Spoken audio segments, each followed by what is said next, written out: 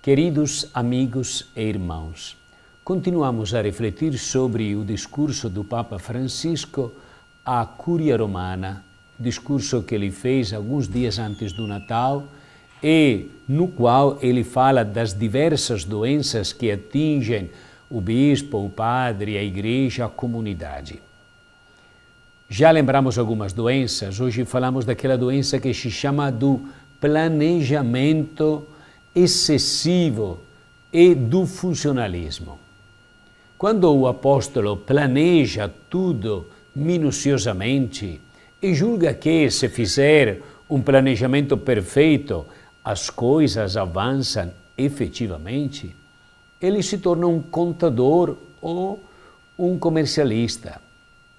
É necessário preparar tudo bem, mas sem nunca cair na tentação de querer conter e pilotar a liberdade do Espírito Santo, que sempre permanece maior e mais generosa do que todo planejamento humano. Cai-se nesta doença porque é sempre mais fácil e confortável acomodar-se nas próprias posições estáticas e inalteradas. Na realidade, a Igreja mostra-se fiel ao Espírito Santo na medida em que põe de lado a pretensão de regulá-lo e de adomesticar o Espírito Santo. O Espírito Santo é a criatividade, o frescor, a novidade plena. Por isso temos que estar abertos à ação do Espírito. Outra doença que o Papa lembrou é a doença chamada da má coordenação. Quando os membros perdem a sincronização entre eles e o corpo perde o seu harmonioso funcionamento e a sua temperança, tornando-se uma orquestra que produz ruído, porque os seus membros não colaboram e não vivem no espírito de comunhão e de equipe, aí estamos exatamente nesta doença. Quando o pé diz ao braço, não preciso de ti, ou a mão na cabeça, mando eu, causando assim mal-estar e escândalo, falta a harmonia dentro do corpo da igreja. Este corpo fica um corpo desequilibrado.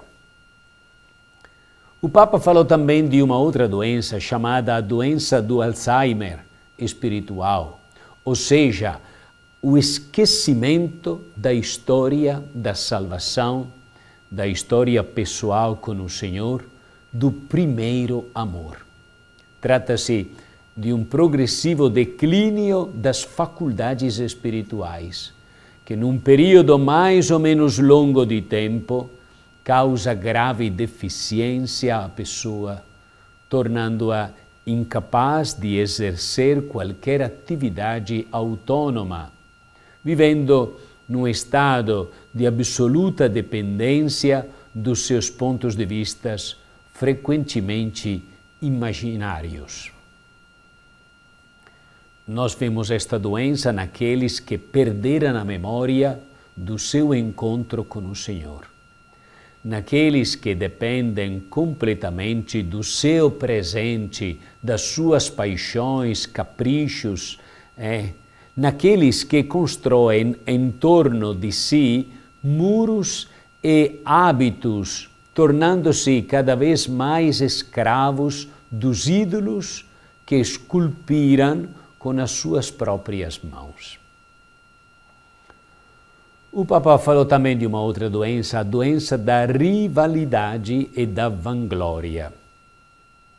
Quando a aparência se torna o objetivo primário da vida, esquecendo as palavras de São Paulo, nada façais por ambição, nem por vaidade, mas com humildade.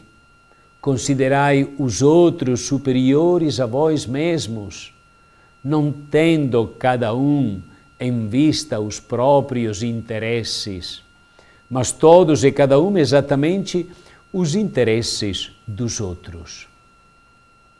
Esta é a doença que nos leva a ser homens e mulheres falsos e a viver um falso misticismo e um falso quietismo. O próprio São Paulo define estes como inimigos da cruz de Cristo, porque gloriam-se da sua vergonha. Esses, de São Paulo, que estão presos às coisas da terra. E o Papa lembra também a doença da esquizofrenia existencial. É a doença daqueles que vivem uma vida dupla, fruto da hipocrisia típica do medíocre e do progressivo vazio espiritual, que nem doutoramentos nem títulos acadêmicos podem preencher uma doença que acomete frequentemente aqueles que, abandonando o serviço pastoral, se limitam às questões burocráticas, perdendo assim o contato com a realidade, com as pessoas concretas. Deste modo, criam um mundo paralelo, seu, onde põem de lado tudo o que ensinam severamente aos outros e começam a viver uma vida escondida e muitas vezes dissoluta. A conversão é muito urgente e indispensável para esta gravíssima doença. O Papa fala também de uma outra doença, que é a doença das murmurações e das críticas. Trata-se de uma doença grave, que começa de forma simples, talvez por duas fofocas apenas, e acaba por se apoderar da pessoa, fazendo dela uma semeadora de zizânia, como Satanás, e em muitos casos homicida a sangue frio da fama dos próprios colegas e confrades. É a doença das pessoas que o Papa chama de velhacas, que não tendo a coragem de dizer diretamente, falam pelas costas. São Paulo nos adverte: fazei tudo sem murmurações nem discussões, para serdes irrepreensíveis e íntegros. Precisamos nos livrar, diz o Papa, do terrorismo das fofocas, tantas vezes presente nas nossas comunidades, nas nossas igrejas. E mais uma doença, a doença de divinizar os líderes. É a doença daqueles que fazem a corte aos superiores na esperança de obter a sua benevolência. São vítimas do carreirismo e do oportunismo. Honram as pessoas e não Deus.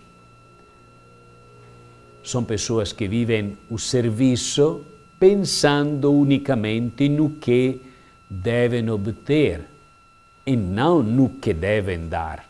Pessoas mesquinhas, infelizes e movidas apenas pelo seu egoísmo fatal.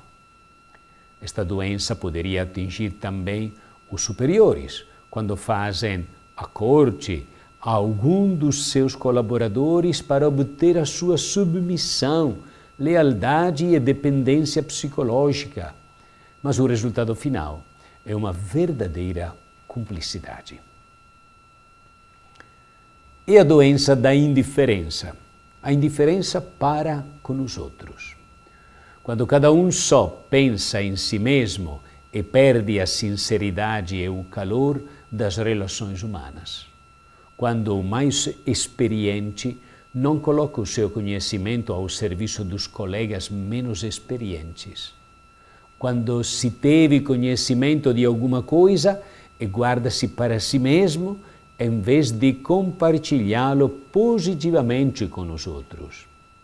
Quando por ciúmes ou por astúcia se sente alegria ao ver o outro cair, em vez de levantá-lo e encorajá-lo. E há uma doença chamada doença da cara fúnebre, ou seja, das pessoas rudes e amargas que consideram que para ser sério é preciso pintar o rosto de melancolia, de severidade e tratar os outros, sobretudo aqueles considerados inferiores, com rigidez, dureza e arrogância. Na realidade, muitas vezes, a severidade teatral e o pessimismo estéreo são sintomas de medo e insegurança de si mesmo. O apóstolo deve esforçar-se por ser uma pessoa gentil, serena, entusiasta e alegre, que transmite alegria onde quer que esteja. Um coração cheio de Deus é um coração feliz que irradia e contagia com alegria todos aqueles que estão ao seu redor. Disso nos damos conta imediatamente. Assim, não percamos aquele espírito jubiloso, bem-humorado e até autoirônico que faz de nós pessoas amáveis, mesmo nas situações difíceis. Quanto bem nos faz uma boa dose de humorismo. Faz-nos muito bem recitar frequentemente aquela oração de Santo Tomás More, pedindo a Deus a graça do humorismo. Que nós possamos avaliar bem a nossa maneira de viver a fé, de ser cristãos, de viver em comunidade, descobrir qual destas doenças nos atingem e partir para uma verdadeira conversão. Deus nos abençoe neste propósito. Em nome do Pai, e do Filho, e do Espírito Santo. Amém.